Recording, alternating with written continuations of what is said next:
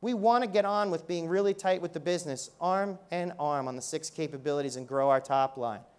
But we need to understand the true cost to serve, the investment profile, and how are we going to accelerate the six capabilities and the business innovation we discussed. So, transparency. We started with the most basic parts of this, and this started before I joined.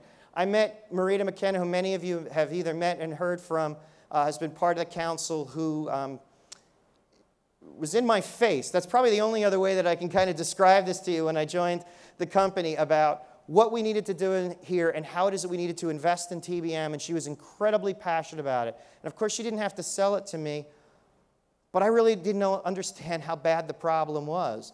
And so in 2013, when she started this journey before I joined, and in 2014, moving from where we were in our GL reporting example to where we were, I asked the obvious question, and she was pretty passionate about that. It took six weeks, six weeks to generate reports. Six weeks. You know, I look at that, oh, back up one, I'm sorry. I look at that and I say, how could it take six weeks to do that? Well, it took six weeks because why?